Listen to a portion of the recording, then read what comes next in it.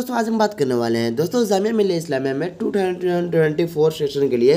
दोस्तों, जो class eleven का जो एंट्रेंस टेस्ट हुआ है तो आज हम बात करेंगे दोस्तों, जो साइंस का एंट्रेंस टेस्ट हुआ है, उसका आंसर की को लेकर दोस्तों हम बात करेंगे।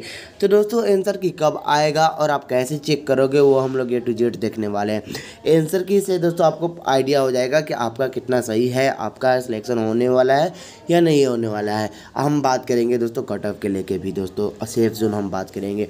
तो दोस्तों, सबसे पहले आपको गूगल पर सर्च करना होगा जे M I C O dot in जैसे ही गूगल पर सर्च करोगे, आप जामिया मिलिया इस्लामिया का ऑफिशियल पेज पे विज़िट हो जाओगे, आप देख सकते हो।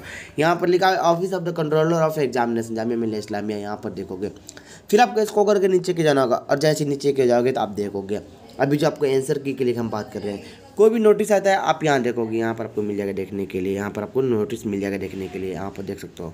अभी हम बात करेंगे आंसर की, इसको करके नीचे की ओर जाना होगा, और जैसे नीचे के जाओगे तो आप यहाँ एडमिशन वाले में देखोगे। दोस्तों, आपने जैसे एडमिट कार्ड डाउनलोड किया था, वैसे ही आप आंसर की भी डाउनलोड करोगे। सबका अलग अलग आंसर सेट रहेगा।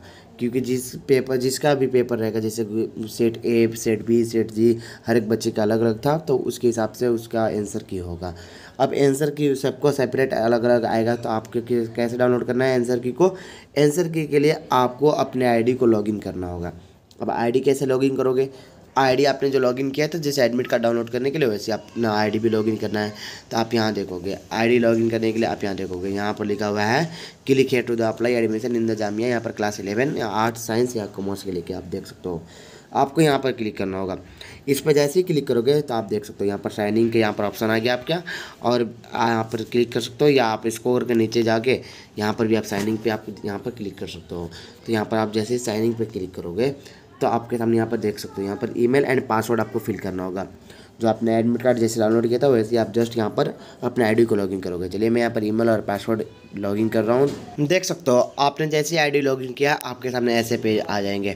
आप देख सकते हो, आपने जो यहाँ पर देखोगे, आपको आपने जो एडमिट कार्ड डाउनलोड किया था, यहाँ से एग्ज़ाम एडमिट कार्ड आपने डाउनलोड किया था।